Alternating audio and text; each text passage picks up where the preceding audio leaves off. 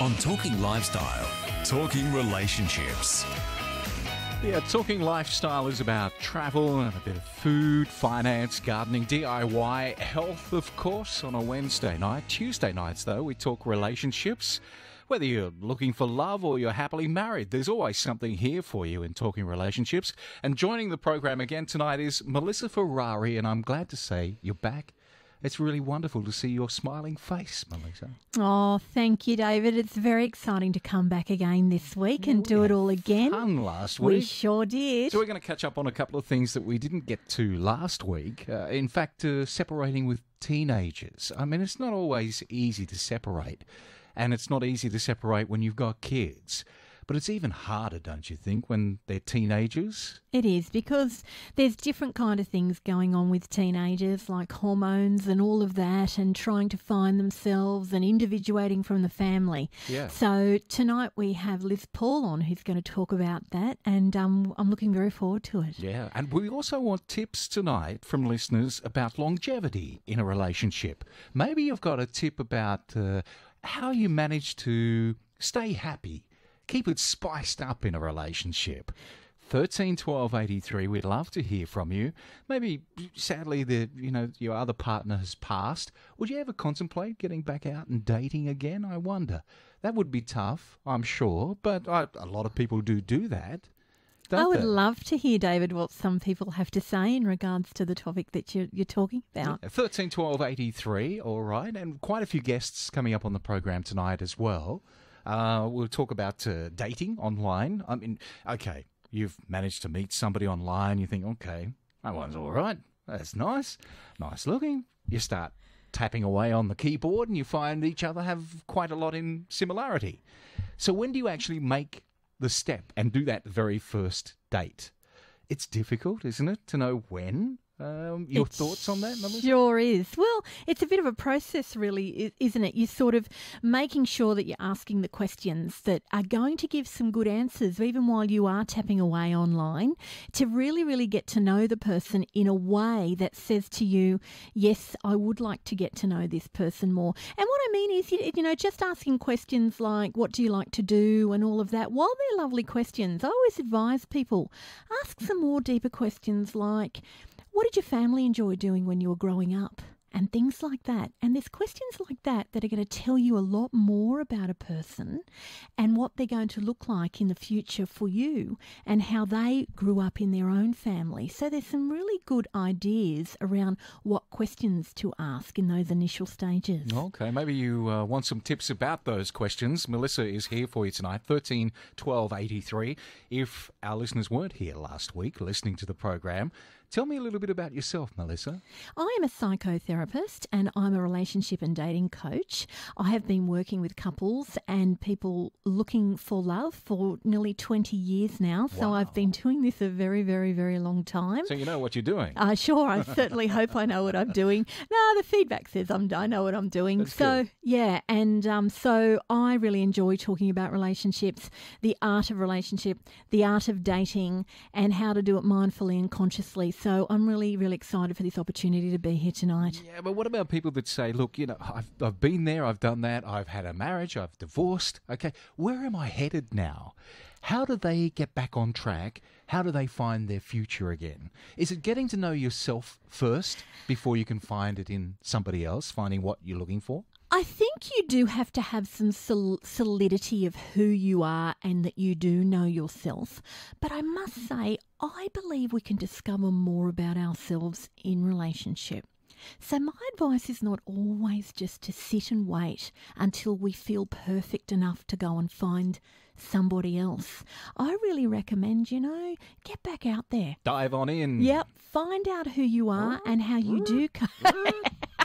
dive, dive. Okay, back in and Yep. get into the scene again. because I think you get to know yourself again. And yes, there are some tumbles along the way, and you pick yourself up and get on with it. Yeah. But I, I believe we're never perfect enough for relationships. I think we, we are who we are. We are who we are we? And also, look, I had my arms wrapped around somebody the other day who is a beautiful person, a gorgeous girl, and she's kind of lost at the moment.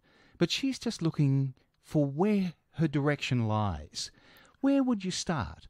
I mean, personally, I think she's the most beautiful and warm of hearts. Surely there's somebody that would appreciate that warm heart out there. My advice is go where you feel safe. Okay. I think that when you are getting back on the dating scene, if it doesn't feel right, it's probably not.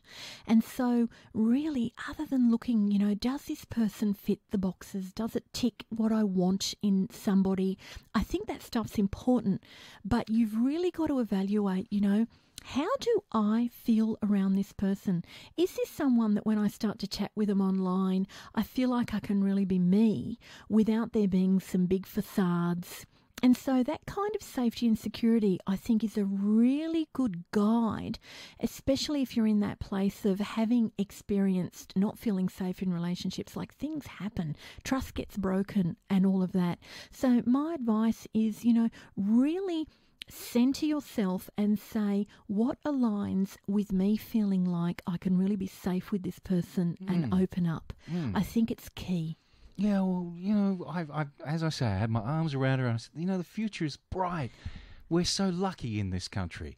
Maybe she's not looking for a relationship straight away, but should she be out there, uh, maybe at least t- knocking on doors and finding out just how, uh, you know, f- a friend, maybe f- looking for a friend or Absolutely. Just sort of putting, you know, putting the toes in, in the getting water. the feeler out. Exactly, exactly. And there are many ways to do that nowadays. You know, you don't always have to do things online. Some people do not like doing this kind of thing online.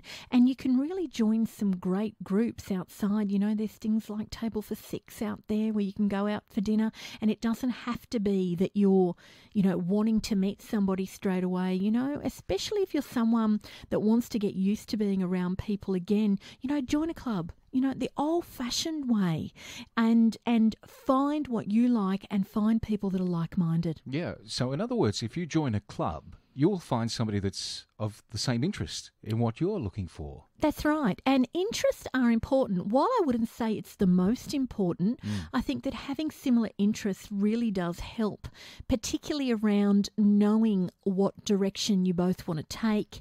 And you know it's not good if you if you're real polar opposites in terms of interests. So if you meet somebody you know i often say you know a riding club horses all of that if you like horses go where the horses are because Yeah. there'll be people you know? And um usually then they're good people so yeah. Sailing, you enjoy sailing, you go out to the sailing clubs and have a chat with people that way, or That's right. find somebody that's uh, of like minded interest, you think? Yeah, I think that that's a that's a really really good I- idea. You know, studying if you are studying something and you find yourself in a university with a room, you know, with other people because you're not studying online Or a you- library if we're older, we're not at university anymore. Absolutely, Yeah. absolutely. You know, maybe maybe just get to know people. You know, your smile can go so far in terms of you know when with with facial recognition, our brain likes lips that actually point up in the corner.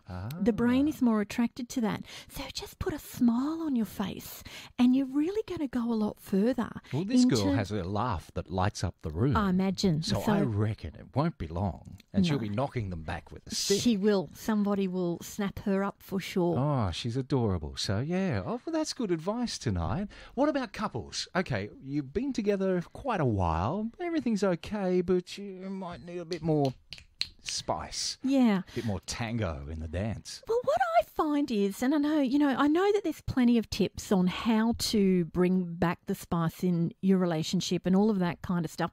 And there's plenty of stuff out there. But what I find, and I'm working with couples every single day, what I find is that quite often couples lose their spark because something's happened in the relationship that may have broken trust somewhere along the way. Now, when I'm talking about Not trust, necessarily infidelity. not necessarily infidelity, not necessarily necessarily an affair.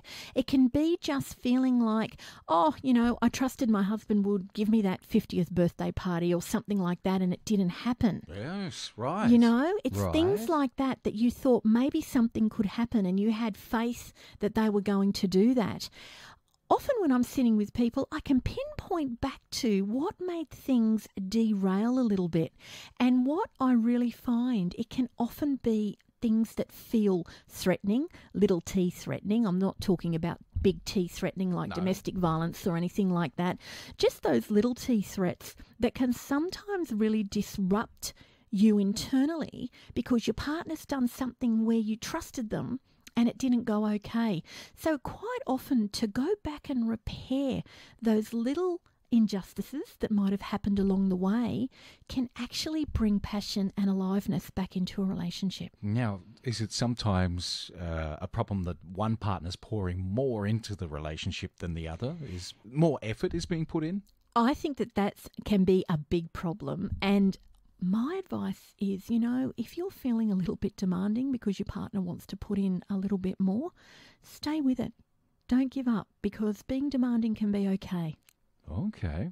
13 12 83, our telephone number. If you have questions, Melissa Ferrari is with us tonight. Melissa was here last week. If you missed last week's program, it's always up on our website, talkinglifestyle.com.au. You missed a great program. We had a good time last week, so we're going to have a good time again this week. So, creating a bit more spice is. Uh, Uh, it's really both having the same direction, isn't it? And, and and same input into that direction. Absolutely. You've got to be committed to it. You've got to be committed to the relationship. You've got to want to be with that person. You have to have the kind of ability to be able to check in with each other. You know, I recommend to couples check in every day. Just walk past each other for those couple of seconds and just say, How are you and I going? How, how, how are we? And I do say, do it daily, just that checking in, because for too long, things get left. Yep. And then the next thing we know, we've got a problem my mum and dad used to say, always a kiss before work. You know, that keeps Yep. a relationship together. Absolutely. Just a quick peck on the cheek to let you know that everything's okay. Absolutely. Kiss on the kiss on the well kiss a good, you know, quite a delicious kiss I recommend in the morning on your way to work. Oh, you're not just a. No, I'm thinking a little few seconds longer. Beautiful, David. Oh, okay. That's what I'm talking That's about. That's what you're talking about, Lip, lips to lips or or hug to hug, what we call ventral to ventral, stomach to stomach, because you're really helping to align each other's nervous systems as well. Yeah. And um, so that in the morning and when you come home in the afternoon can set up a nice evening. I think that's fantastic. Good advice tonight. If there's something you'd like to know, if there's something you'd like to ask Melissa, we are just a phone call away right now. 1312 83. Don't be shy, okay? It's radio. You can remain anonymous, but we would love to hear from our listeners tonight. 1312 83. We'll get you straight through, all right? 1312 83, that telephone number. You're listening to Talking Relationships on Talking Lifestyle. Yeah, I like this topic. Okay. Does age difference actually matter when it comes to dating? Does it certainly in a relationship? We'll find out shortly. Should you ever date out of your age bracket? Does it really matter? How big a gap is mm, too big? Bit of Harold and Maude. Have you ever seen Harold and Maude? No. Wonderful movie. Oh, I'll tell you more. You watch a lot of movies, David. Oh, I love this movie. It sort of it was like a centerpiece to my life when I was growing up. Oh. So, 1972 or 73 film. Cat Stevens is the music, Oh, I'd love that. and he's 19, and he falls in love with a woman who's 79. Wow. And I mean, most people go, "What? You've got to be kidding!" But that's the basis of the movie. What's Why the not? movie called? Harold and Maude. I'm going to watch that. Oh, you've got to see it. It- Yes. look, Maud in the movie, everything she says, gems, absolute gems. So he's like 19, she's 79. Is that too big a gap, I wonder? We see many celebrities like Catherine Zeta Jones and Michael Douglas. And of course, Harrison Ford and Clarissa Flockhart uh, making it work in their relationship despite some huge age difference sometimes, not quite 19 and 79, but do they have the same chance of long term success as dating someone closer to your age? Karina Pamamal is a leading dating and lifestyle mentor and the founder of Datalicious. Uh, she's had 15 years' experience in the dating industry with a wealth of trade secrets, and she joins us on Talking Relationships tonight. I hope I got that right, Karina Pamamal. You did. You did exceptionally Oh. well. Thank you, David. What's the background of lovely Pamamal? Where, where's, where is that Uh, from? It's actually Indian. So my father is Indian. So Oh, how beautiful. What a gorgeous country. Lovely it is. country. It is. Melissa Very is good here with me as well too, and she's um. We're talking relationships tonight. We're talking about age brackets. Have you ever seen Harold and Maude? No, I haven't, I'm afraid. Hello, Melissa. It How are sounds you? like a good one, that movie, doesn't it, does. Karina? It does. It's certainly, it's certainly on the video list. Oh, should I say DVD list? Oh yeah. It's Trust lovely him. to have you on, Karina. I've written some blogs for Karina on her Datalicious website, and we've actually never spoken. So, welcome to the show. Thank you very much. Thanks for having me. You, you have a great exciting. site. You have a great site there. Thank you. There's a lot of work that have gone into it and a lot of contributors, and you've been a part of it, so You- it's been great. You can tell it's fantastic. So, I have a big question for you. Yes. Should dating somebody significant, significantly older or younger be a barrier in a relationship? Um, unfortunately, when it comes to matters of the heart and when you're dating, age um, doesn't know a date range. So um, uh, when when you fall for someone, age doesn't come into play. But obviously, you're going to be faced with some challenges when you're dating outside of your age bracket. So there'll be different challenges that you face when you're dating someone that is the same age. So it will be things like, you know, different stages of life that you need to talk about and navigate your way through, different lifestyle choices. One might be going out clubbing and the other one's sitting at home. They've done their clubbing and uh, they want to stay at home. Um, just different ways that they spend their money and their finances and what they're building their futures for. So there'll definitely be some challenges, but um, it shouldn't should certainly not be ruled out. So, Karina, do you notice what attracts some people to seeking older or younger partners? What do you notice about that in, in, in terms of somebody being older seeking someone younger or someone younger seeking, um, seeking someone older? Is there anything that you can notice about the type of people that do that? Uh, I think for a lot of women that I've worked with, when they're seeking older men, it's the wisdom that they're seeking in a relationship, um, the know how, the um, life experiences is a big thing.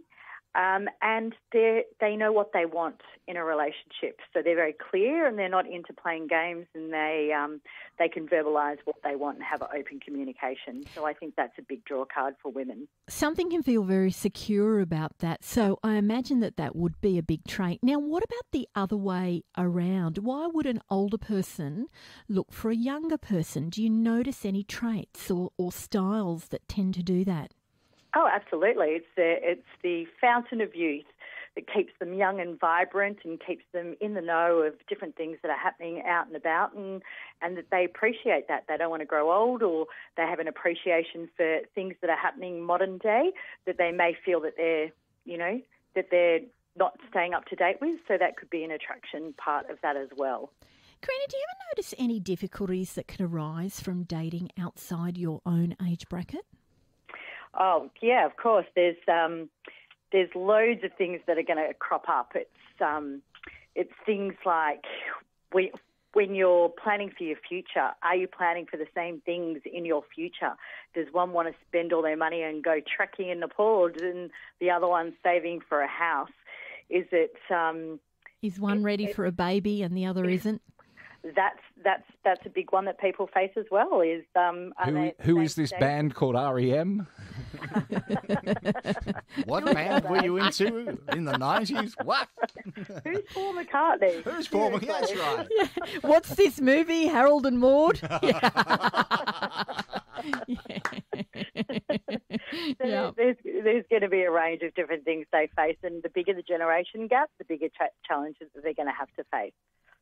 So, how successful are relationships in the long run when two people are vastly different in ages? Now, I imagine there's many factors to that, but do you observe how successful they are when there is a big gap?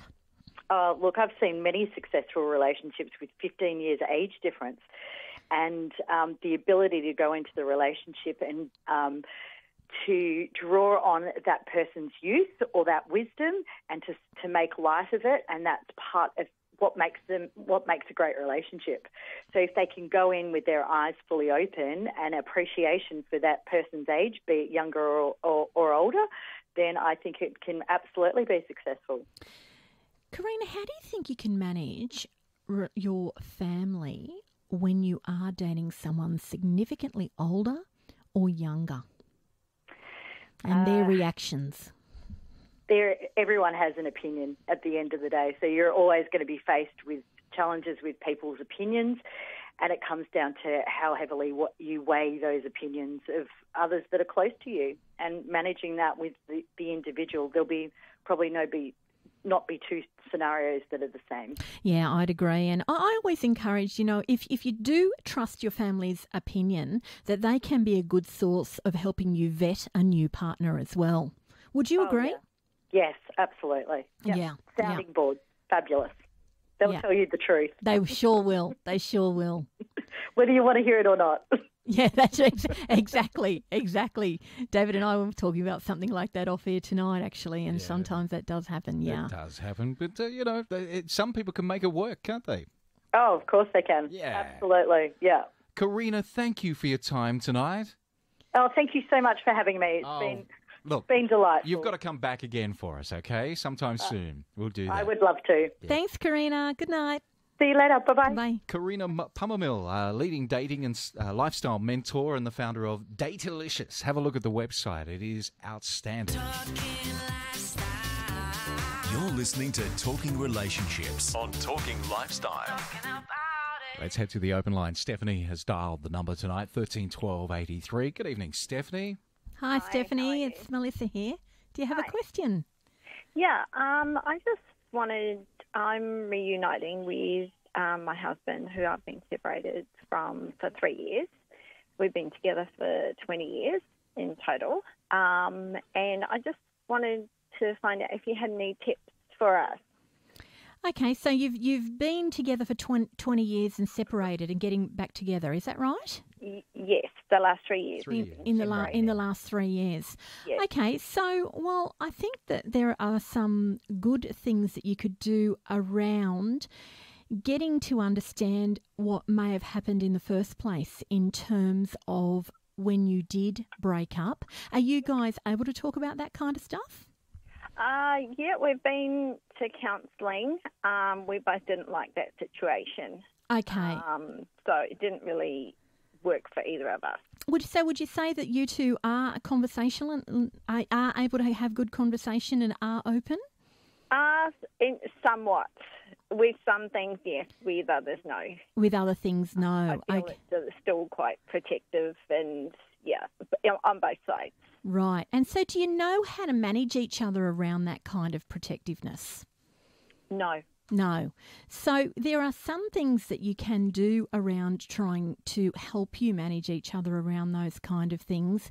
And that is to do a little bit of what I mentioned earlier about, you know, checking in with each other, like make a deal with each other that we're going to check in daily to see how our relationship's going. So, it's sort of like doing a little inventory around how, how, are, how are we today? We've been through a, through a fair bit, you know, some things can happen the night before or last week or whatever. So, being able to do a bit of an inventory and asking each other what's actually going on, I think is a very, very important part of um, not only with you guys, but any relationship at all, uh, any relationship. Okay. Thanks for that. I think that's good advice. Um, we have never done that. Um, And so, yeah. And and it's going to feel a little bit awkward in the beginning, but it's just one thing, one deal that you can make with each other. Let's do this daily and just do a little inventory. How, how just a, a casual, you know, how are we going? How how are you and I doing? And just see what comes up. Fantastic. We'll try it. Thank you so much for Thank calling. you. See you later, Stephanie. night. Bye. Good on Bye. you, Stephanie. Thank you for your call tonight. Thirteen twelve eighty three. If you'd like a few tips tonight, we can certainly do that. Well, Melissa can anyway. Melissa is here. Melissa Ferrari, thirteen twelve eighty three. Also, as we were talking with uh, Karina, does age actually matter when it comes to dating? Did you have a big age gap in your relationship? Um, I know during the war years there were many men that were much older than their brides. So uh, maybe maybe there were people listening to us now that their husband, uh, you know, was much older than the wife, or I know uh, in my family, my mum was a couple of years older than my dad, and she was called Cradle Snatcher all the time. Cradle, cradle Snatcher. Oh, your mum's a Cradle Snatcher. Is there such a thing these days? Does it really matter? I'd like to know. 13, 12, 83. What are your thoughts, Melissa? Look, I don't think it does matter. I think that what's more important is the quality of the relationship. I know I L'amour as well. It's all about love, it isn't is it? about love. If you fall in love, you fall in love, and there's many reasons why we fall in love. And um, I don't believe that that's ever been fully explained properly by anybody. And um, but it can be that they they remind you of someone from the past, whether it be positive or negative. And so attraction attraction's another story, David. I'd love to talk about attraction one night as well, definitely. and the ingredients of attraction. Oh yeah, but and also tonight uh, we'd like to talk about uh, should you ever date outside your age bracket. I mean, if you've ever done it, I'd like to know tonight. Thirteen twelve eighty three. We're just a phone call away. What about a little bit of love music? Shall we do that tonight? What do you Beautiful. think, Melissa? I love this song. I melt when I hear this Oh, song. this is absolutely stunning. Gorgeous. He's going to be my guest this Friday night on Talking Entertainment. This is the young fellow by the name of Harrison Craig.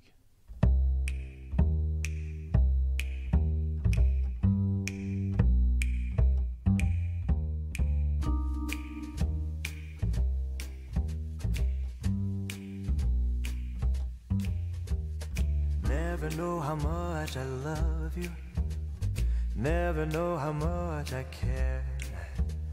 When you put your arms around me, I get a fever that's so hard to bear. You give me fever. When you kiss me, a fever when you hold me tight. Fever in the morning, a fever all through the night.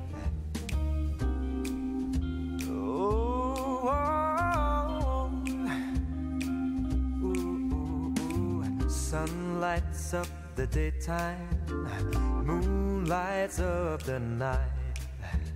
I light up when you call my name, and you know I'm gonna treat you right. You give me fever. When you kiss me, a fever when you hold me tight. Fever in the morning, a fever all through the night. Everybody's got the fever, that is something you all know. Fever isn't such a new thing, a fever started long ago.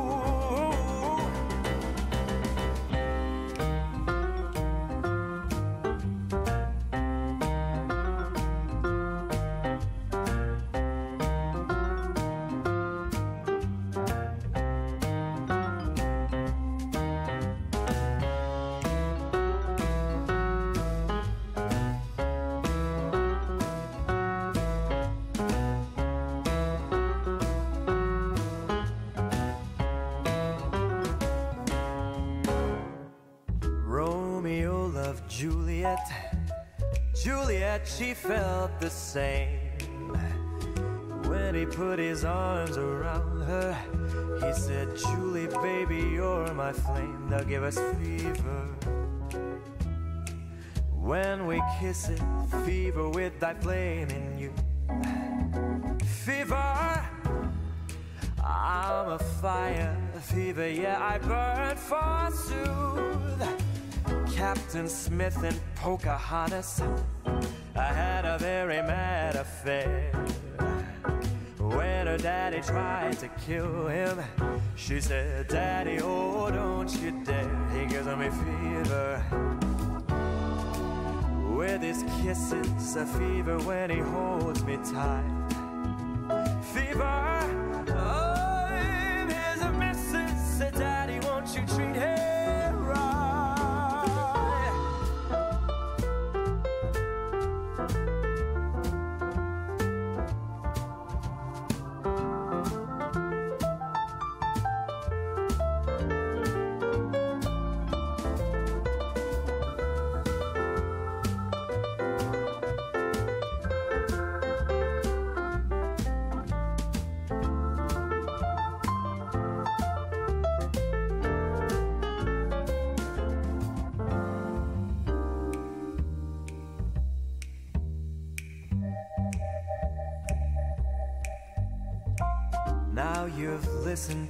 Story, here's the point that I have made. Cats were born to give chicks fever, be it Fahrenheit or centigrade, they give you fever.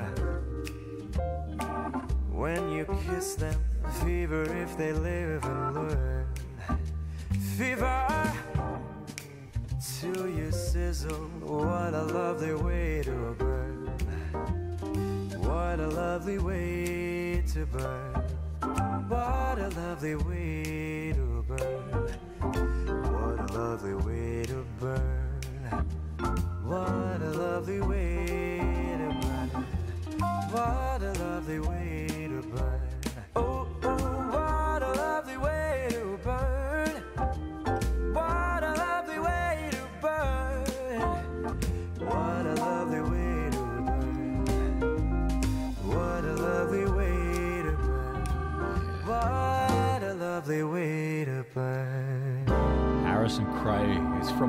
Called Kings of Vegas. That's a sexy song. It is a sexy song, isn't it? All about Yeah. relationships and burning up and fever. Music can do that to you. Certainly can. Young Harrison Craig's the fella that won The Voice. Remember the fella that he came on and when he sang he didn't stutter anymore.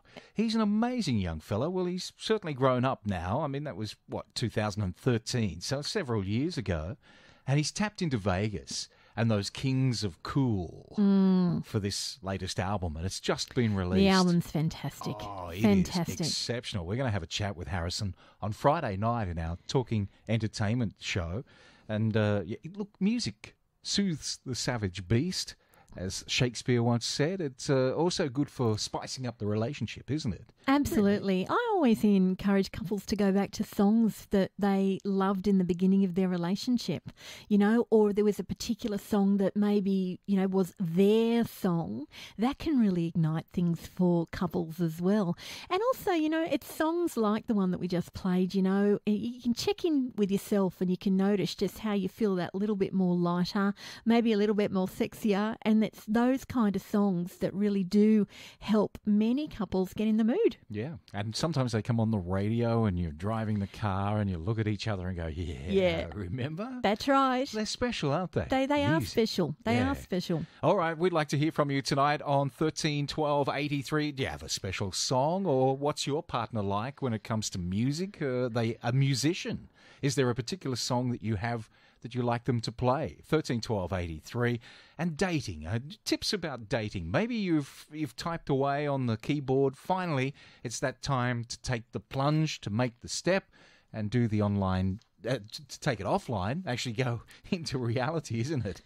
Augmented real- reality. Um, time to do- to actually take the plunge and make the date. Uh, if you've got uh, questions or you'd like tips tonight, Melissa is here. 13 12 83. Melissa Ferrari and David Prior here talking relationships.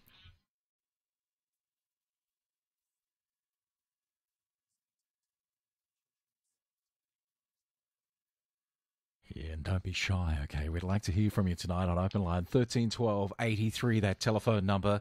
If you've uh, got a question about your relationship, or maybe you're breaking up and you want some advice, or maybe you're thinking about getting into the dating scene again, 13 12 83. It's often said that women fall in love with a man's potential, right? But men fall in love with women hoping that they'll stay the same. Is that right? Uh, let me know tonight, 13 12 83. In the dating game, people often encounter partners who tick all the boxes aside from a few annoying things they hope they can fix.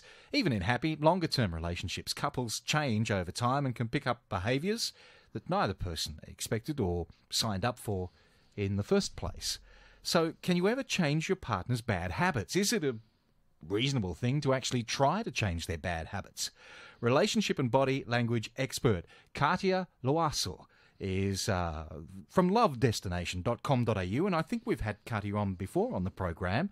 She's a bubbly personality. I love Katia. Uh, she joins us to talking uh, relationships uh, with yourself, Melissa. Hi, Katia. Hello. Hi, Katia. How are you doing?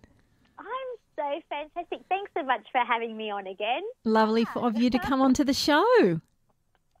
Yay! So, Katia, we have a few questions for you.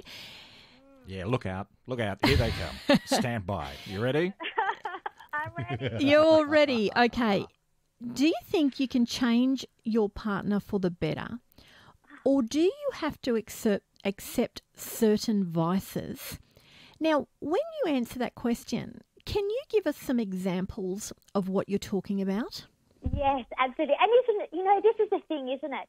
When we meet somebody for the first time or we're in that falling in lust, falling in love, whatever you want to call it, head over heels, infatuation, we can overlook so many things. You know, all of a sudden they're Mr. or Mrs. Right. Fast forward, you know, two months, two years, ten years, and all of a sudden Mr. or Mrs. Right can't do anything right. You don't end up liking how they chew.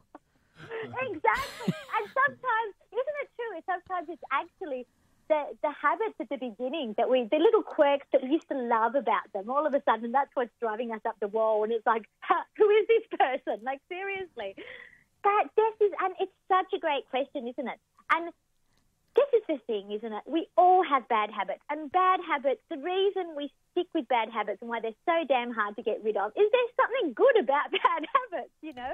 Whether it gives us a sense of excitement, whether it's a challenge, whether it just helps us to escape from reality, whether it's just, you know, a bit comforting and we don't even have to think about it, so we just slip into it. There's something good about it. So it's not that easy to just change your habits, particularly if you don't want to, but somebody else wants you to, nagging you. Yeah. So, so Katia, what are your thoughts on when something in another person you find very endearing in the beginning becomes the very thing that bugs you a couple of years later or a couple of months later? What do you think's possibly going on there? Well, this is the thing, isn't it? You know, and I- I find it really interesting that at the beginning of relationships, sometimes it's the things that are quite different about our partner that we, we quite love. You know, we fall in love with the little quirks. But after a while, particularly once we've been together a, a after a while, then those those quirks, those habits are, are the things that can actually grate us because often they're the opposite of what we do, right? And Yes. So, so it can become really irritating. It sort of disturbs our sense of peace, if you like, of our way of doing things. And, you know, I mean, uh, well, we won't talk about leaving the toilet seat up because that's not what I No, don't go there. but isn't it interesting as well? Is I think you know something I wanted to, to mention i- is sometimes as well at the beginning of relationships we set ourselves up for this. I feel, and this is something I really wanted to touch on tonight because particularly as women, we get into relationships or men, you know, and we want. Sometimes we're so in love with the idea of falling in love, right? We want people to like us. We want people to want to be with us. And, you know, we don't always get into relationships for the right reasons. And sometimes we're not always in the most amazing place in terms of our feelings of self worth and self confidence. And sometimes we, we might set the bar a little bit too high in, in what would then become expectations of us. You know, I mean, I've had, you know, people that I've spoken to, and at the beginning of a relationship, they would literally go over to their partner's house and they'd be cleaning and they'd always want to cook. And even if their lovely, gorgeous partner would say, Hey, darling, can I cook for you? They'd be like, No, no, no, let me do it. And then they wondered why, you know, four, five years or two years down the track, um, they were doing all the cleaning, they were doing all the housework. But really, they sort of set that up for it. They set themselves up for that by pretending that they liked it in the first. Yeah, Katia, I call that just showing your shiny side. Oh, I love it! I think Fabulous. in the beginning of a relationship, we all show our very, very shiny side. And as we know, we aren't all shiny. We are all imperfect. We have plenty of things that are sometimes even unacceptable that we have to tolerate in a partner. And so there are some things, though. What habits or behaviours do you think are more difficult for people to adjust to? I mean, there's a real clear one about smoking, isn't there? Yes, yes, and sometimes you know at the beginning of a relationship, you know people aren't always forthcoming with their smoking habits. You know, people will say, "Oh, I'm not a smoker," or "I'm just a social smoker," and then they hide that habit from their partner, and then you find out that actually, you know, they're smoking a packet a day. Yeah. Why they're always smelling like breast mints? Yep. Um, It's like the mints aren't working. The mints aren't working. That means that working. But because sometimes, you know, certain habits, there are there, sometimes certain habits are associated with a bit of a sense of shame as well. And so people aren't always, you know, open and honest, particularly in the beginning, of, about those things. So sometimes you find out about them or the extent to which they it impacts their life only comes out down the track. Katia, I love that you mentioned there shame because I think that this plays a part in how you can deal with resistance or a conflict from a partner, partner on, mm. on a certain issue. That can often be because of their own shame, can't it? Yes, absolutely, absolutely. And you know, when we have when we have issues accepting accepting ourselves and accepting you know the types of activities or the types of habits or the way that we're living our life, the last thing we want is for somebody else to bring that up. You know what I mean? And that's the thing is that shame can also help us to, to overcome. You know, the we, we can then get into this cycle of denial, can't we? And then we're, you know, rather than being in a place to be able to deal with it and to be able to then perhaps, you know, give up the cigarettes or give up gambling or whatever it is. Oh, it's we- such an edge, isn't it? Because Yeah. shame is a place where we can really grow from, but it's really hard to tolerate what we might be being told is not a, a vice or a behaviour that our partner likes. And That's so so it's really quite, got quite, quite a double, double edge. It's a place for growth, but it's also a place that can make people incredibly vulnerable. Yes, absolutely. And I always say, you know, there's there's growth in the discomfort, but you have to be able to sit there. And Yep. if you can't, then you're not going to be in a position. You know, it, it's just we have to we have to be in a in a in a state within ourselves or in a position where we can sit in there and feel all those feelings that we really don't want to feel sometimes, right? Yeah. Um, and and they, they can often bring up all sorts of, of different emotions and feelings about ourselves and doubts and insecurities. And, and then that again can affect our relationships because if we're, when we're going through that, you know, that can have such a big impact on your relationship. Anybody who's ever been in a place where they've felt anxious or depressed or just feeling really crappy will know that it doesn't do your relationship wonders, you know. And when your relation, when you're feeling like that, and your relationship starts to feel a little bit wobbly, then that can make it even harder to to overcome these kinds of things because you just think, ah, just wait a minute, you know. And that's where that's where the care of a good couple therapist can come in with helping with that as well. Like couples Absolutely. see And because support, sometimes it's yes. just so intolerable some things to deal with. So pointing people in the direction of good couple therapy can be very helpful there.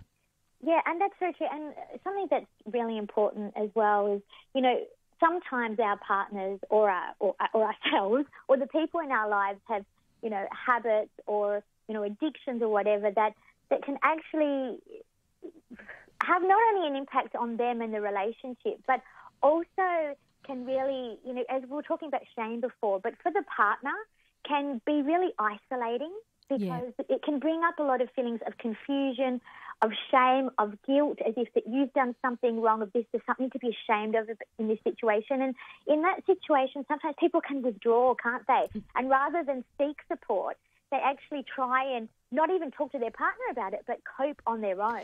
And that's, um, that's yeah. where it's good for people to also get into individual therapy. You can get into individual therapy to help you with your relationship. And um, I find Yes. nowadays a lot of people do that, and, and it can be quite profound in terms of learning how to manage your partner, particularly with something like a serious vice, something that is Yes. really troublesome in the relationship. Seeking, you know, it doesn't have to be couple therapy. You can you can work individually to help change your partner so that the relationship can stay together. Yeah, absolutely. And also give you the support you need to be able to, you know, when you're going through any kind of relationship conflict or turmoil in your life, you know, the feelings can be very overwhelming. And if you get into a sense of panic or fear, you're really not in a place to be able to deal with them and to be able to, to um, you know, connect with your partner and confront these issues together in a really connected, deep, you know, intimate way. Empathic as well, and em- Yeah, yeah, with the empathy. Yeah. Absolutely. And so definitely, you know, and a lot of people sort of, you know, are a bit worried about, you know, going into couples therapy perhaps, particularly if there are some things that they might not want to bring up in front of their partner or if they're worried about how it might affect their you know, their relationship because, you know, sometimes people are also worried that, you know, it, it might affect the relationship in a negative way, that things might fall apart if we bring this out in the open. You know, sometimes, isn't it true? I, you know, Yeah. when you actually say the words out loud, sometimes that's it. You know, sometimes all it takes is for you to acknowledge out loud what's going on in your relationship, for you to realize, oh my God, what am I doing? Yes. Here. Yep. You know, and that's frightening. That's really frightening. It's for people. vulnerability, isn't it? It's vulnerability. Yeah. And yeah. the what if, the uncertainty of what comes next. yeah. Beautiful. So do you try and change them, or do you do you you just sit and discuss with them, and, and, and, and at least say, look, this is I'm not happy with this. What are your tips there? Well, you know what? I guess it depends on what the issue is. You know, Yeah. regardless of what the If it's issue something simple, Yeah, regardless of what it is, you know, confronting them and blaming them, that's never going to work. it'll push them further away, right? Yes, Yeah. absolutely. And all that does is plant the seeds of resentment where Yeah. not where they don't feel understood, they don't feel listened to. And if somebody doesn't feel listened to or understood, they actually can't hear you. You know, they can't Yeah. process what you're saying. Yep. So it needs to come, you know, as Liz was saying, from a place of empathy, from a place of compassion, from a place of at least trying to understand, even if you don't, because sometimes some things you might be furious, you know, you might be so angry and hurt, and Yeah. trust may have been broken, and so it- it can be hard to be empathetic when you're feeling all. When Absolutely. that trust is gone. Yeah. That's right. Now, Katia, it is fantastic to speak with you again on the program. You too, both of you, thank you so much. Don't be a stranger now. We're going to call you back in a couple of weeks and have you back on the program, all right? For sure, Carty. I'd love to talk to you again. Just for that giggle. Wonderful. Just for that. That's the one. Ah, Katia Loisel, thank you very much for your time tonight. Have a wonderful night, both of you. You too. You're listening to Talking Relationships on Talking Lifestyle. And we're just a phone call away right now, 13 12 83. I think Maria had dropped off, which is a pity. We'll try and get Maria back up. There's been a couple of calls come through, but they haven't sort of s- stuck around. I don't ah. know. Was it my cologne that I'm wearing or something? I, 13 12 83. You can remain anonymous, okay? If you just change your name. If, you, if you'd like some tips, we're genuine. That's what we're here for on a Tuesday night. And I promise I will be kind. Yeah, that's right. Yeah. It's very easy. 13 12 83. Maybe you just hit that rough patch and you just want a little bit of advice. Well, Melissa Ferrari is here to give that advice. 13 12 83. Still to come, I've got that terrible frog in the throat. You have been managing it very well. Oh, thank you very much. Yes. Now, see, that's girls. They look for princes, don't they, when they're growing up? And sometimes they find themselves frogs. We're here to find a prince for you. Okay, 13 12 83, or at least give you some tips on where to look for princes rather than find yourself back in the pond with those frogs tonight. 13 12 83. Is that all right? Beautiful, David. Ah. Well, that's what we're here for. Talking relationships. Melissa Ferrari is with me. Thirteen twelve eighty three. Emails are coming in. We'll go through Justine's in a few moments' time. All right. So you can send us an email if you'd prefer to do it that way. It's talkinglifestyle.com.au. But our open line telephone number thirteen twelve. 83, okay? We've run out of time for this hour. We still have another hour ahead, though. We'd love you to stay online. I think Zara's there. Zara, we'll get to your call straight out of the news, which is next here on Talking Lifestyle.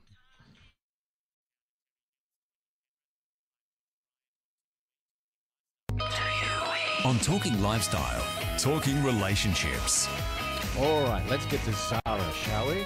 131283, our telephone number. It is Melissa Ferrari that is here in the studio with me tonight talking relationships. And it's really nice to have you here, Melissa, because I really enjoy you being in here and, and talking relationships because you've got some great advice for everybody. And relationships come in all sorts of forms, don't they? I mean, we have relationships with people at work, we have relationships with our family members, and we have relationships all around us. And I think Zara wants to make that point too. Hi, Zara, how are you doing? Oh, all right. How are you? Yeah, pretty good. Hi there, Zara. It's Melissa here. Oh, that's good to talk. Thanks for coming on. Oh, that's okay. Well, I wanted to tell you about friendship. And um, friendship relationships can be very important for, for young people and for old people or adults, you know what I mean, in, in, in the time of their lives as they go through life. Now, um, I have friends, and, that, and friends of mine are very caring and kind and compassionate. You know, that kind of friendship, you see. The kind of stuff that goes a long and way. helping each other and doing things like this, you see. But I've come across other people that they they, they call themselves Christians and say that they're friends, you see. Like uh, one lady said, "Oh, I'm Shannon. I've got another friend, Vicky, and oh, you know, they're all right to each other for a while. Yeah, but uh, you know, you've got to be careful too, haven't you? Each other. Yeah. And then there's such, but the the the, the, the, the you know, You've got to be careful in any sort of relationship. You've got to sort of nurture that relationship, even if they are friends, don't you? um, heart to heart friends, aren't they? Wow, it's, friends are hard to find, don't you think, Zara? If you have a good friend, you Yeah. know, you know, you can find good friends. I'm saying that. You see, you can find a lot of good friends, but they've got to be fair dinkum and true true friends. You know, it's got to be caring and and you know not turn their back on them when it's only in a good situation, something that they can get out of you. Yeah, that's right. It's not about what you get out of each other. It's about what you put in. That's right, and how you care and share and you treat each other very nice. Yeah. Oh, Zara, that's really good to remind us of that too. Jesus, you know, Jesus when he was here, he was talking about friendship. Well, he told everybody to be good to each other, and then somebody went and nailed him to a cross. I mean, it does not make sense, does it? Well, that was the Pharisees. You see, they weren't. Yeah, that's right. were? Long time ago now, but Yeah. yeah, we always remember him. Good on you, Zara. Thank you. You're more than welcome. Yeah, I mean, some Good people night, find friendships in the church congregation, don't they? Yeah. I mean, that's very warm and welcoming. Absolutely. Absolutely. And that's what church is all about, isn't it? people in their faith can really, really form beautiful relationships in, in that way. And um, talking about friendships and relationships, you know, sometimes I say true, true, true friends, we can sometimes only find on one hand, you know, we Yeah. don't all have an abundance. Of friends. I think that if you can find a handful or even, you know, sometimes from one or two, it can go a long way in terms of cementing feeling like you do have a friend. I know Facebook and everything has so many people can have Wow, so, can many so many friends. Yeah, that's right. Oh, But wow, who- look at you. You've got 200 people that are followers. Yeah, that's right. They might be followers, but are they really friends? Exactly. And what Zara was saying, it's it's what you put into that friendship. It goes two ways. Exactly. I think the point that she was making is that it does go just like a couple relationship. You've got to put in half half each way. You have to meet each other in the middle and be able to offer to each other something. You know, relationships, I said this last week too, it's not just about getting, it's about giving as well because giving can really warm the heart and that kind of generosity is what we need to see more in this world. Yeah, you bet. 131283 is our telephone number. If you'd like to join in, be part of the program tonight, Talking Relationships. You're listening to Talking Relationships on Talking Lifestyle. I know somebody sent in an email. Maybe you could help here. Just started online dating. It seems like people play their cards fairly close to their chest when talking about what they're really looking for, whether it's something casual, hmm okay, to date and meet new people, or locking in a relationship. How can you decode what they're really saying? This can be a difficult one, but I think it's a very, very important one when you are online dating because there can be a whole different array of different relationships people are looking for. Relationships come in very, very th- different forms and as you mentioned there's some casual some just to date some people who are looking at really looking for a relationship i think in terms of decoding quite often if somebody is just looking for a date or you know a more of a sexual kind of hookup and all of those words that are used nowadays around that is that they can be quite transparent about it and you can really quite see this person is fairly clear about what they're looking for. So, but in your question, I don't think that's what you're asking. I think you're asking is that more kind of, you know, overt subtlety around what really is this person asking for.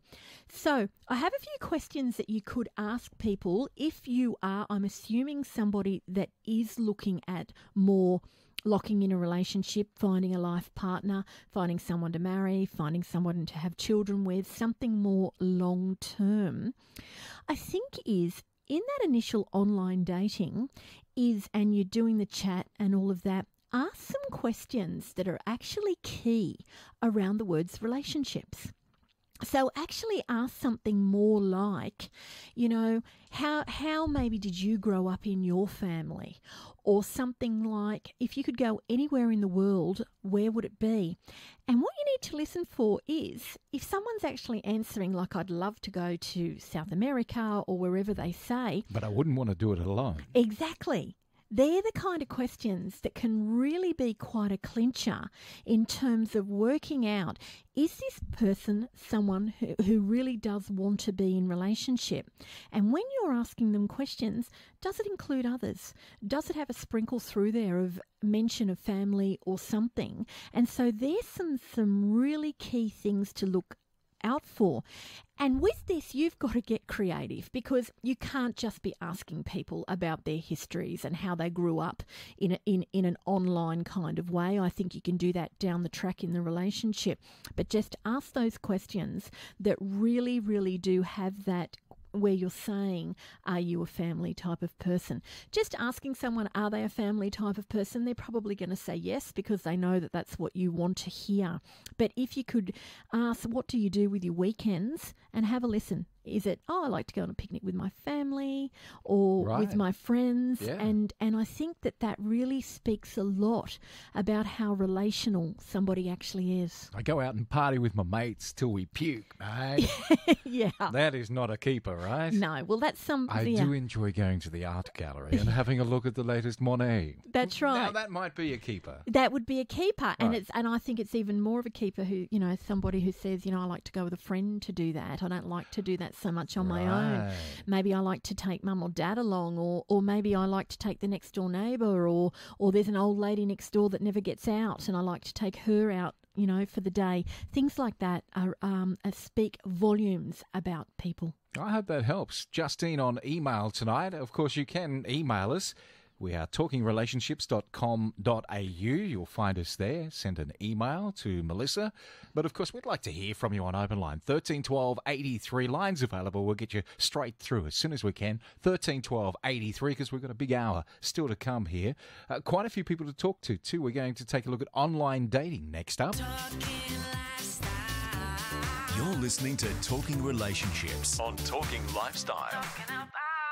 We're talking relationships tonight here on Talking Lifestyle. We'd love your company on open line 13 12 83. As Flannery O'Connor once said, a good man is hard to find.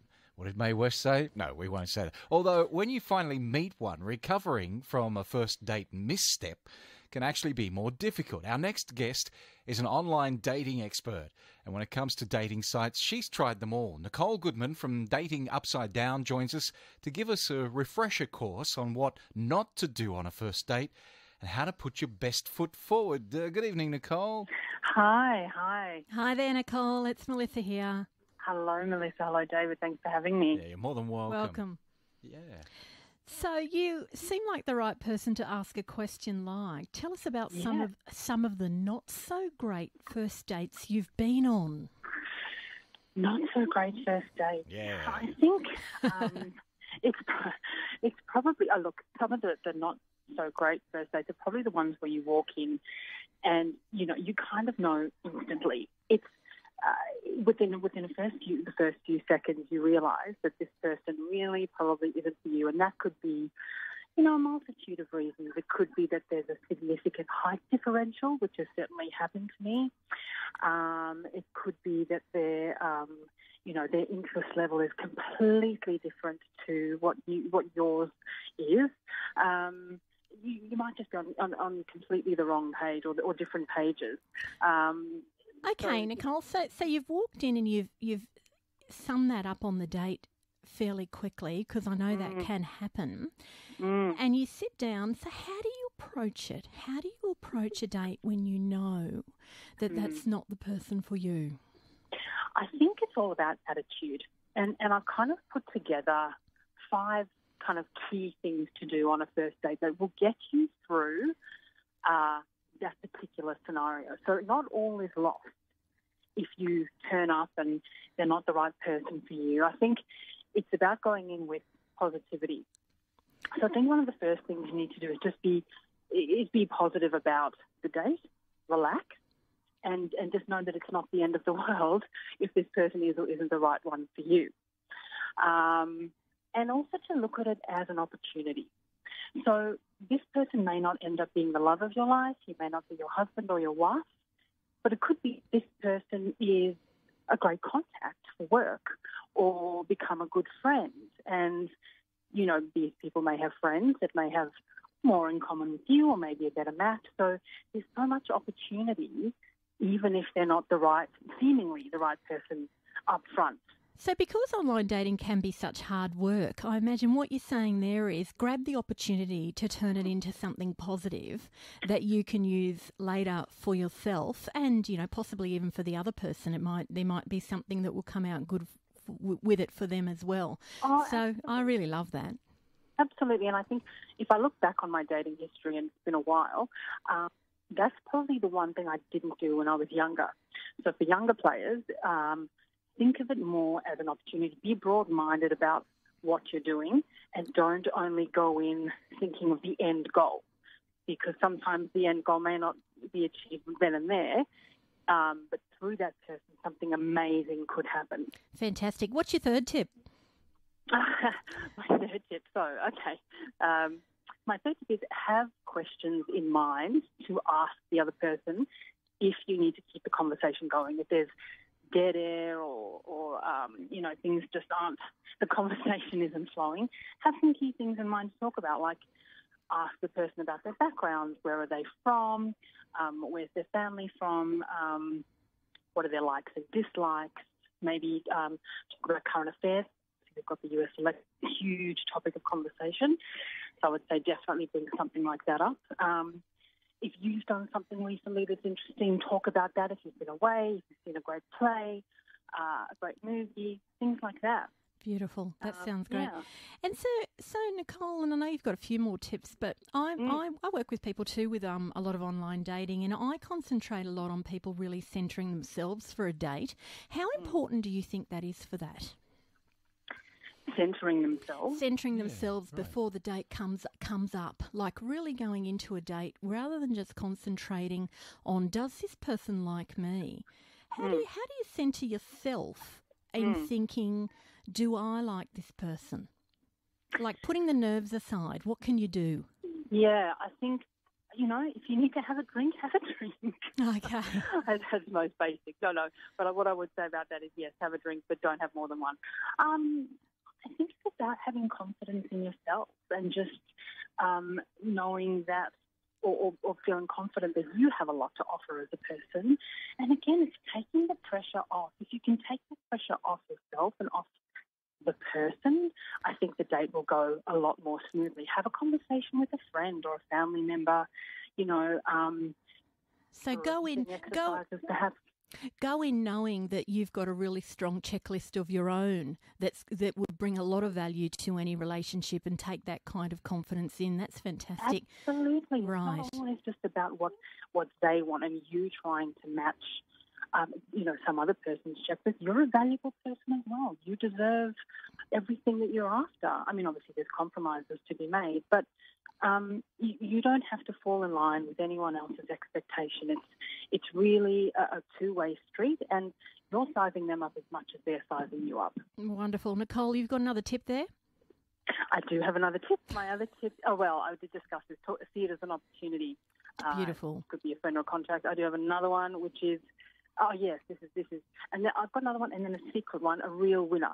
So this one, um, the number five is be positive. Be positive and dress well. Dress well, not just for your, you know, respect yourself uh, and and the person that you're going to meet. You don't want to turn up in you know, shorts and yesterday's t-shirt and really showing no interest. Just put a little bit of effort into it. Um, obviously, given the scenario, if you're going for a run or whatever it is with the person we're running gear, but just really put a little bit of effort in. I think I think that's good life advice there too, No. Nicole. yeah. Um, Now I know what I'm doing wrong. and what I'd say as well, actually, a couple more things. One is um, have a few places up your sleeve for uh, where to meet. A number of times I've had guys say to me, "Oh, yeah, no, happy to meet up. Where do you want to go?" It's very, very frustrating. Um, both men and women should have a list of places of where to rattle off, perhaps, or to choose from. But as a woman, you want the man really, really to take a bit of charge and go, fantastic, you want to catch up, let's go here, here or here, or make a decision and bang. It just makes things so much easier. It shows um, commitment, it shows decision making. Uh, yeah, uh, women love that. Women love that. What about Nicole? If you're looking for somebody with the same interests as yourself, Mm. you pick a date where you both share an interest. Like, uh, you want to go fly fishing, or do you want to go hang glidering, or is it something that you'd pick uh, with that person, knowing you're looking for somebody that's interested in what you're doing and their likes as well? Mm. Oh, look, if, if you're on the same page with that, I think that's an excellent idea. The worst thing that can happen is the person says, oh, maybe we'll leave that for the second date. I think that's a great idea. If you're passionate about fly fishing, great. I mean, you Or know, horse riding, or something outdoors. like that. Taking riding, motorbikes out to ride through Absolutely. Landilo, up in the Blue Mountains, or something like that. You know, want to go for a bike ride with me? Oh, fantastic, fantastic. But, yeah, no, really, I think that's that's really great. They are some great tips there, Nicole. I have one more. Ah. Yes, please. Okay. Yep. a winning tip. The winning tip is this: guys and girls, more probably the guys. Um, when you are about to go on the date or when you're at the venue, ask the woman or find out before, or ask the man what their favourite drink is and what they would like to drink that night. And when they arrive, it's there waiting for them. Oh, That is an absolute winner. That's the first time someone has done that for me was this year. It's never happened oh, to before, and it is just standout. that would It's melt my heart. A mo- it is a melting moment. I'm telling you, it just it really is a melting. Hot tip, hot tip. We might get some hot tips from our listeners tonight on Open Line thirteen twelve eighty three. What do you reckon, Nicole? We'll get a few out there, no doubt. I love it. Yeah, Yeah. sounds great. Yeah, good on you. Great. So many people are turning toward uh, online dating, so there must be many people that did so and found the love of their life or found somebody that is Yeah. a good friend these days. We'd like to get your tip thirteen twelve eighty three about that very first date. Nicole, it's wonderful speaking with you tonight. No worries. Lovely to speak to you as well. Thanks, Nicole. You're giving me a few things for up my sleeve, so thank you. Fantastic. Take care, guys. You're listening to Talking Relationships on Talking Lifestyle. Good couple of tips there. Definitely tonight. 13 12 83 if you'd like to join us. And if you've got a few tips, we'd like to hear from you on Open Line. 13 12 83. I think Yvonne's dialed the number. Hi, Yvonne. How are you? Hi, how are you going? Oh, I'm all right. Hi, Yvonne. Thanks What- for waiting. Yes. Oh, lovely, thank you. Do you know what? Listen to me and all you ladies and gentlemen. Yes. I would never, ever in my whole life go on to any dating like that. So you wouldn't do online dating? Definitely not. And why not? Because you- don't uh, feel it's secure enough? It's not secure. You never know who you meet.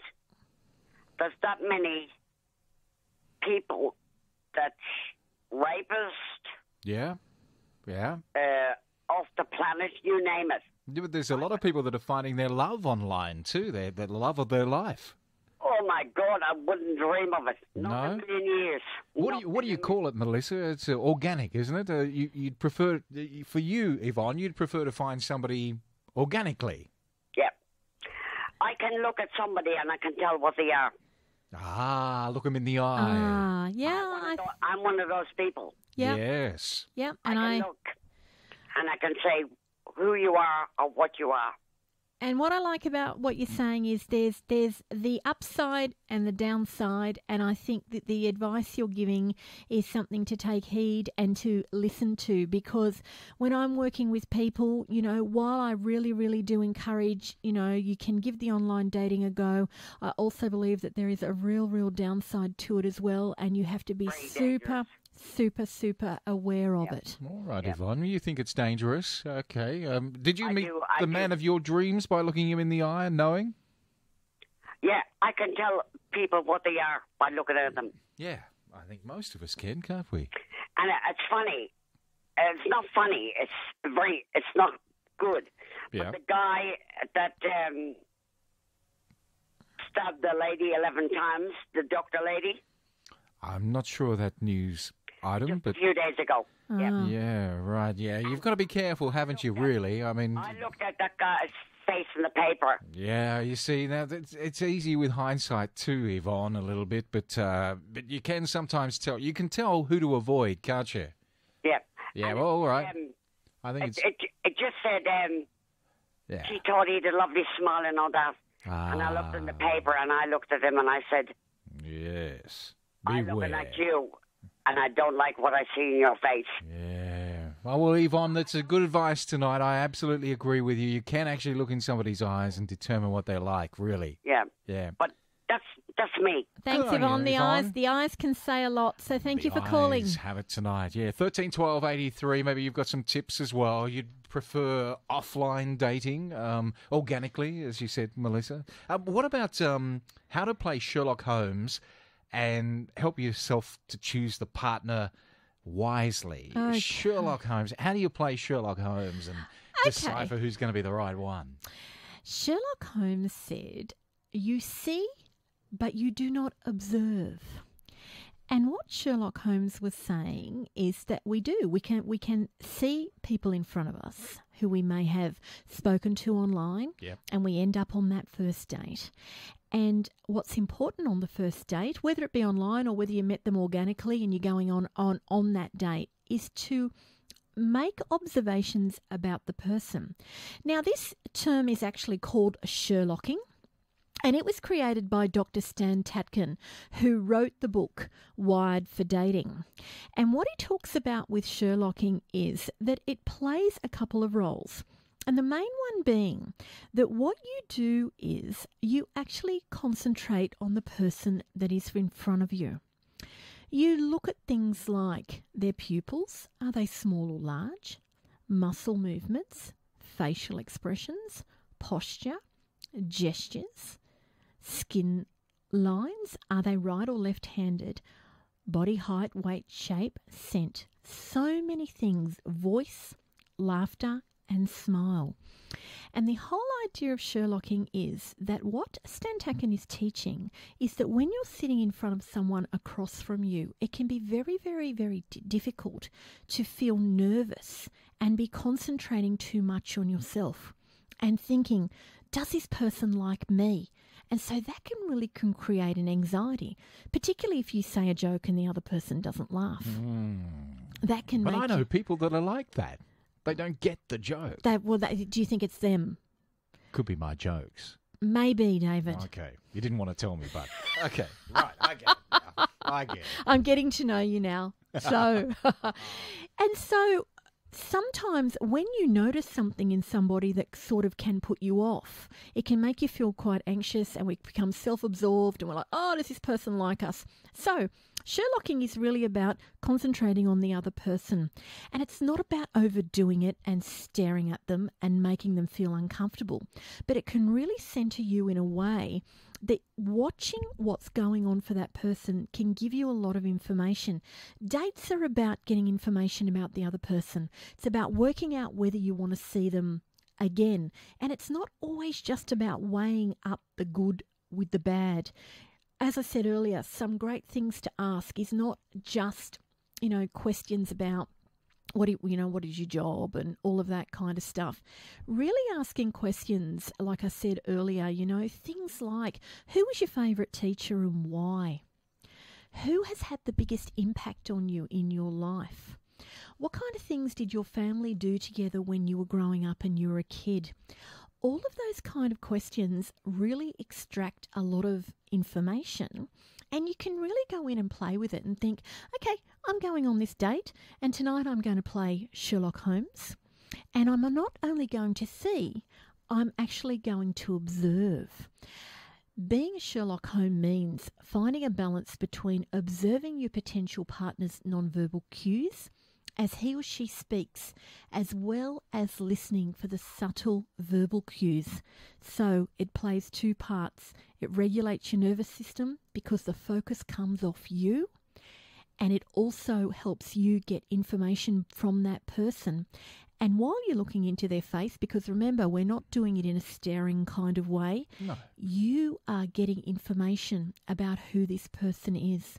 So there's a new dating term called Sherlocking. Sherlocking after Sherlock Holmes. Elementary, my dear Watson. All right. Uh, you know those songs that come on the radio from time to time and they turn out to be very special? This is a very special song. This is a lovely song. I'm going to play this tonight. Kick back with a bit of nice music here. And we'd love to hear from you too on open line 13 12 83. Some tips to how you found your love and first dates as well. We would love to hear about your very first date. Where did you go with your love on your very first date? 13 12 83. Sunlight fall down on the fields. Sunlight fall down over me. Walk all day, be all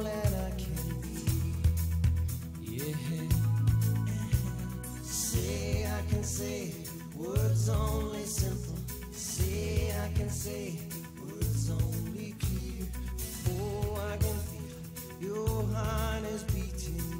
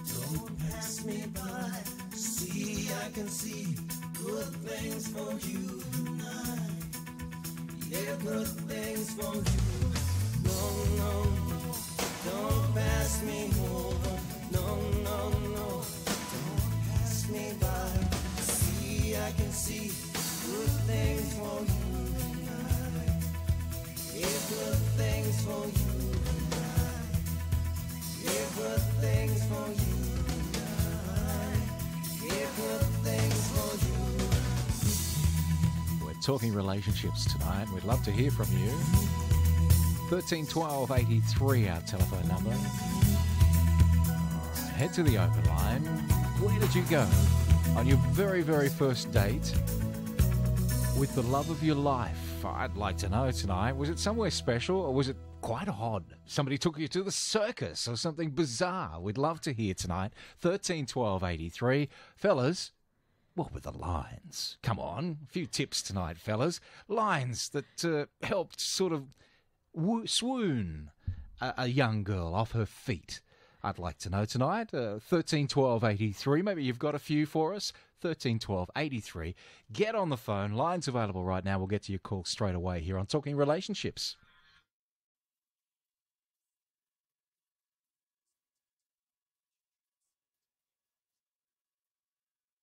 We're talking relationships with Melissa Ferrari tonight on 131283. We'd love to hear from you, especially if you've got tips for co parenting with teens after a divorce.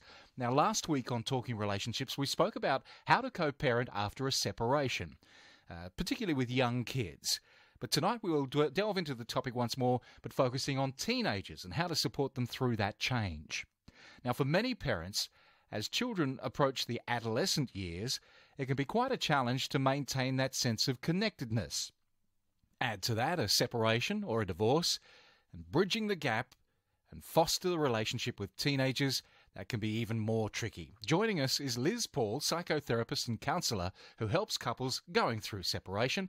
I'm glad to say she's on the line. How are you doing, Liz? Good, thank you, Dave. And yourself?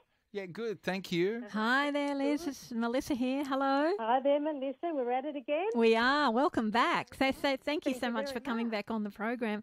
I love so much. Well, David and I both love so much of what you had to say last week about younger children and, and how managing separation and divorce and, and the children um, during that time. And then towards the end of the end of the conversation, you met, mentioned adolescence, and then that's a little bit different story. Sure is. So, what are the biggest challenges with teenagers and and keeping a healthy connection with them when going through a separation or a breakup of their parents? Well, that's really tough because, you know, parenting um, under any circumstances is a really tough gig.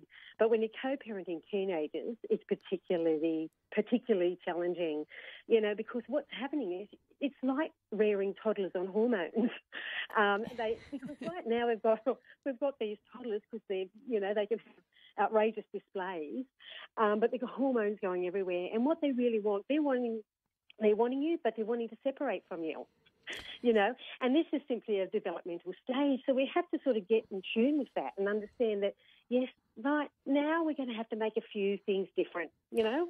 So, so let's really, yeah, go on. when they start looking like they they they are pretending that they don't care or that to them it really doesn't matter what's going on around them parents need to have a different kind of attunement to that don't they They do. You, you do. You have to understand that, you know, it's difficult times for them in under best of circumstances because there's a lot going on for them from a, an emotional, psychological and a physical place.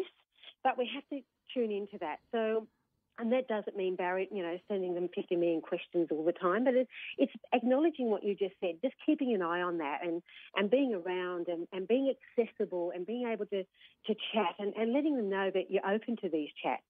But of course, you're coming into, you know, you're coming into this stage and you're co-parenting. So it's even harder. You might be seeing them every second week, or you might have most of the custody. It, co-parenting doesn't necessarily mean 50-50. But whereas I might have said last week, you know, um, you, you know, you should keep routine and all the rest, as you get into the later years of raising adolescents and co-parenting, flexibility does have to come and be looked at. And they want to start having an opinion on, on what's going on with their life.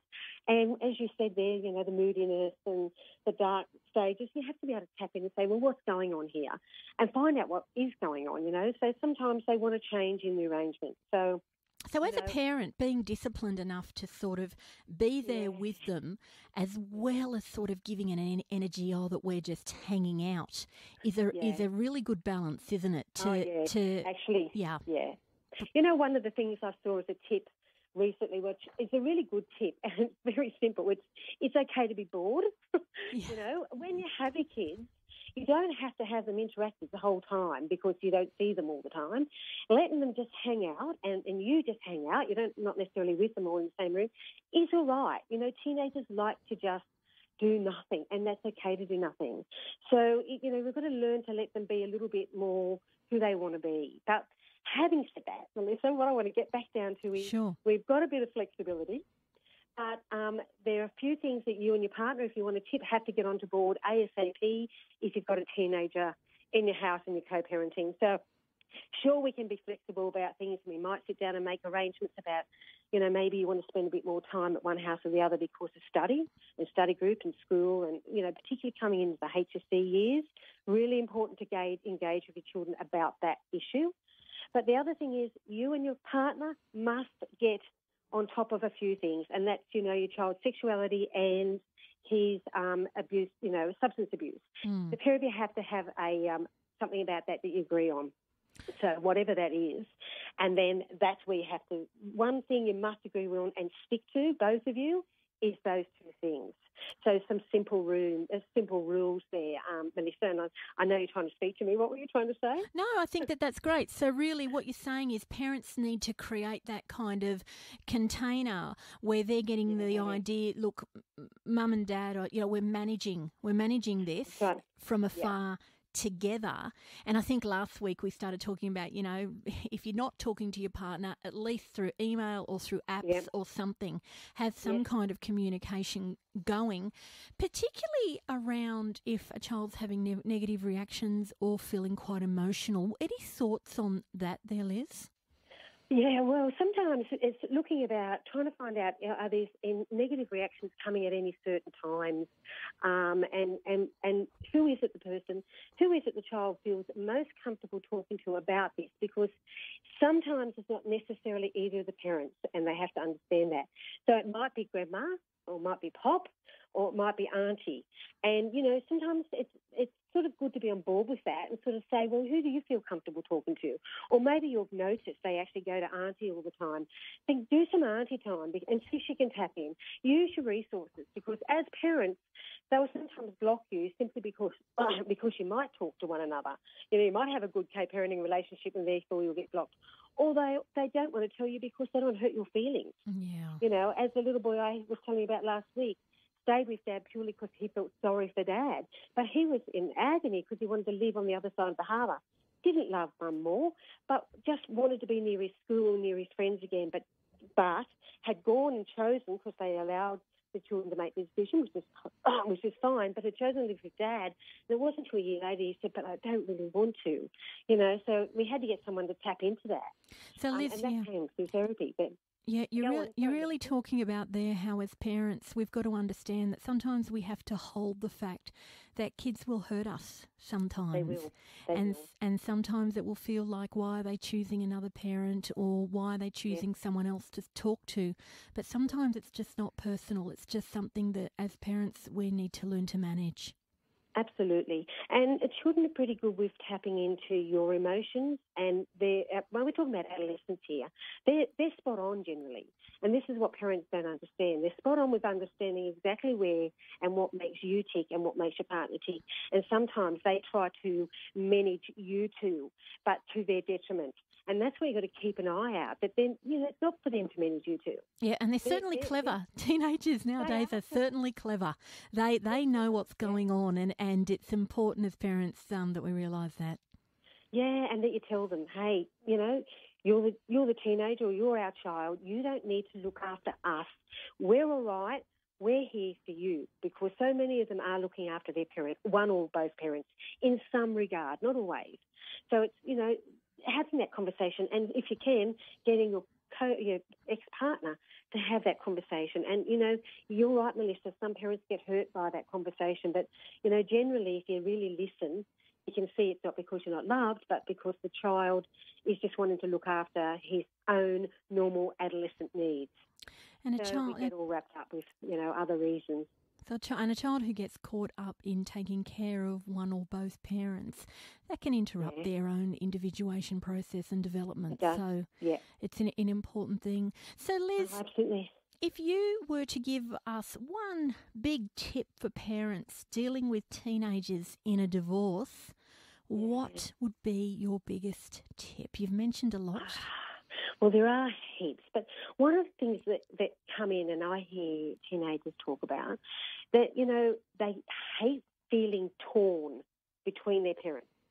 Right, so an example of that is an activity like um, they're they're both invited to oh, a school recital or something, um, or at a school um, sports carnival, and or whatever. And they hate the feeling like the sports carnival. Mum sits at one end of the um, stadium and dad at the other, and who do I sit with?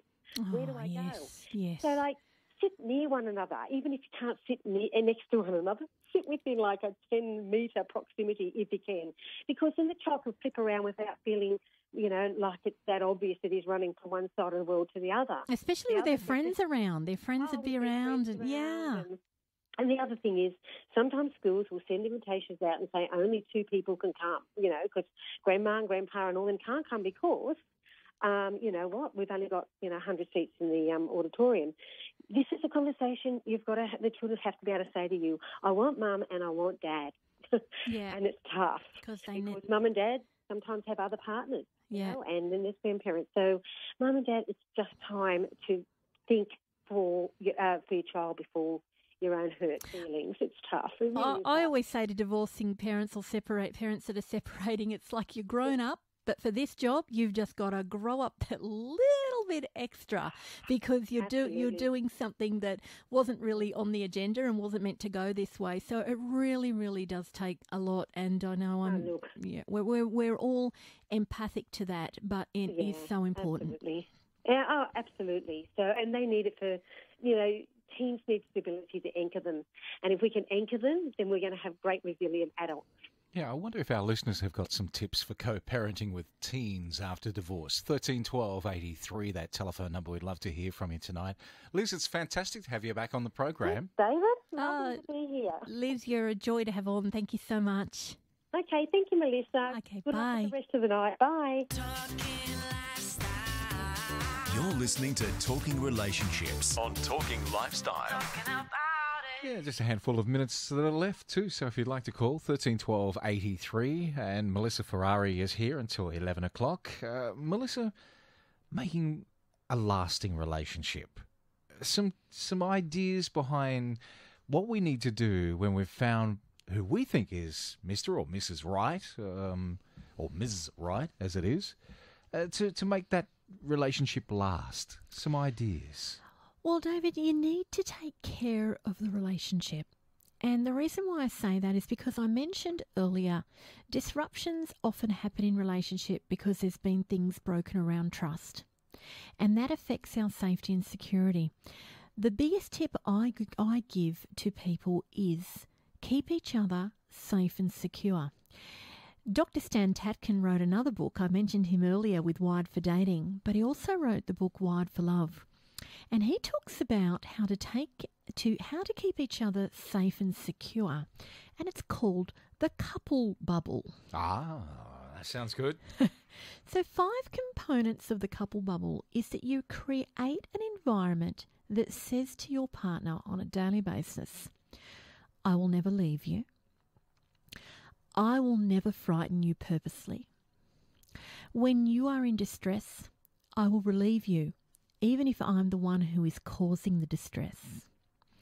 Our relationship is more important than my need to be right, your performance, your appearance, or what other people think or want, or any other competing value. You will be the first to hear about anything and not the second, third, or fourth person I tell. Mm, that's a trust thing. And you can actually Google Stan Tatkin and the couple bubble because I know I went through those quite quickly. You can find it online. Um, www.stantatkin.com.au. You can also find it on my website, www.melissaferrari.com.au. And I also often publish things on my Facebook page called Love, Life, Relationships and Transformation. So you can follow that page, and I'm always giving these kind of tips, particularly around the couple bubble, because I've worked with people a long time, as I said earlier, nearly 20 years. And what I've learnt is the key to long relationship is remembering how to keep each other safe and secure.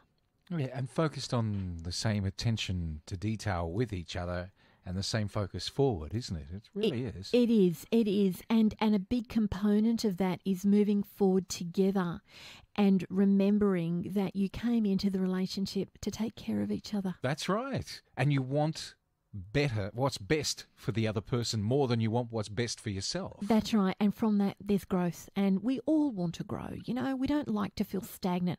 We don't like to feel stagnant in our relationship. We don't like to feel stagnant personally. So there's some really, some key factors that are important and um, safety and security. What about taking the other one's breath away?